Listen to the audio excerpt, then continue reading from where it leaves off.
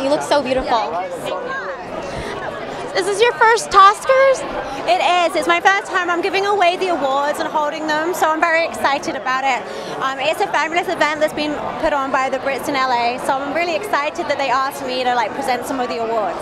And you're from Britain. I am. Yeah. Is the are parodies big in Britain?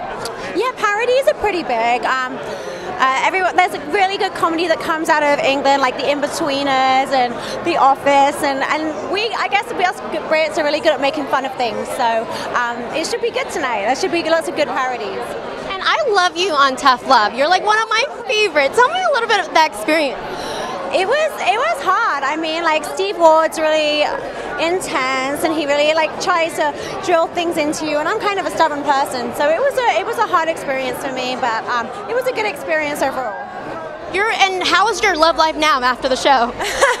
Actually, you know what? It's still non-existent, so it's not good. No, um, I'm just looking for the like the one, and I don't want to be out dating or anything like that. So when I find that, then um, then I'll settle down. I think.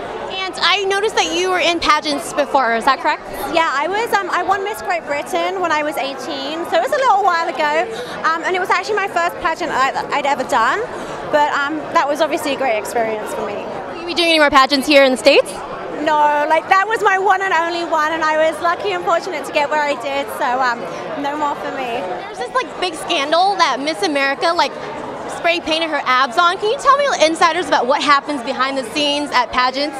You know what? I'm actually, after my experience, I'm not a big pageant fan. For me, um, I think there's too much plastic surgery that goes on, and there are things like that. There's like spray painting the abs. There's like liposculpture. There's like um, there's so much that's going on now, and I think that if people are going to compete, it should really be on natural beauty and, you know, not surgically enhanced. That's my opinion. Otherwise, you may as well have a man in there, you know. And also, you're a fashion designer, is that correct? I am, yeah. I started a clothing line, Le Luna Collection, about two years ago, and um, yeah, I'm really excited. I'm in one of my dresses tonight. what, what, can you tell me a little about the trend that's coming up for the spring? Um, you know what? I'm just doing backless stuff. My stuff's mainly backless, but I'll be doing like spring colors, spring patterns. Um, obviously, I just had all the holidays, and this is one of the old holiday ones, so it's all sequiny, but it's still good for tonight for parties. Um, but it's just going to be um, pastels and bright colors too. Thank you so much.